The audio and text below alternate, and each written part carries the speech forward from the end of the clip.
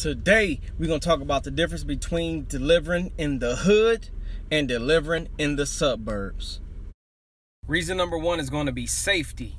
You're more likely to get robbed in the hood versus the suburbs. Open up the bay doors, take some beer, pick what they want, go inside your actual truck, steal your check, steal your lunch, steal your apparel. Leads me to number two, being able to leave your bay door open. If you're in a rush and you're in a hurry, opening up each bay door every time you go in and out the store can waste a lot of time. In the suburbs, you can most likely leave your bay door open. In the hood, you leave your bay door open, you're giving away free beer. Reason number three, generosity.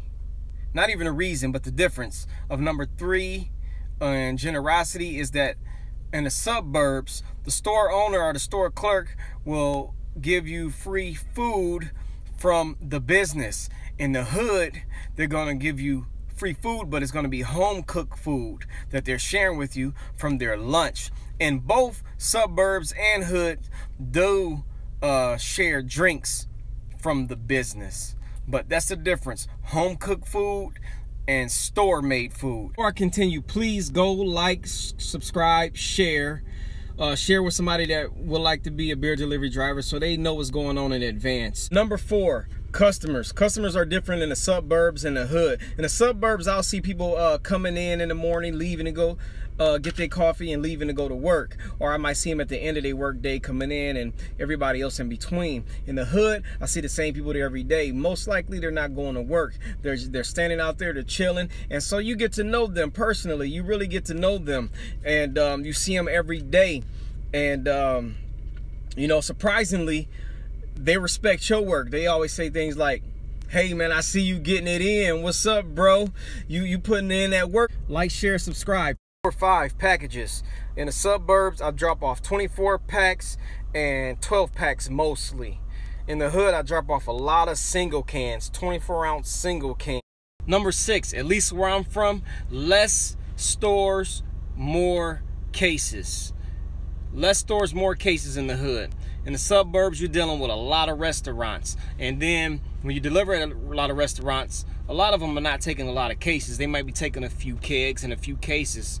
And for commission, you're not going to be making much if you only drop off a few cases of product. So that means I need to deliver to more stores. So I, I can have up to 40 stores, but still not have a lot of cases. In the hood, I'm dropping off to a store 50 to 100 cases and majority of it is single can 24 ounce. So i'm making a lot of commission on one store so i have less stores to go. Number seven the terrain.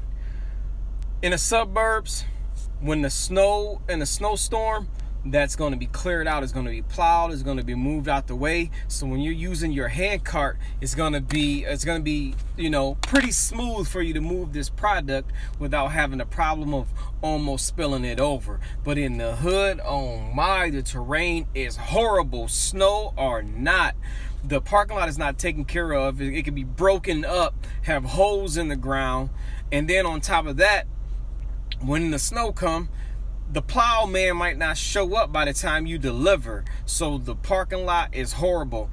And what's crazy about that is that when the snow come, it's actually a little bit easier since you got the snow filling the holes on the ground, making it a little bit more level.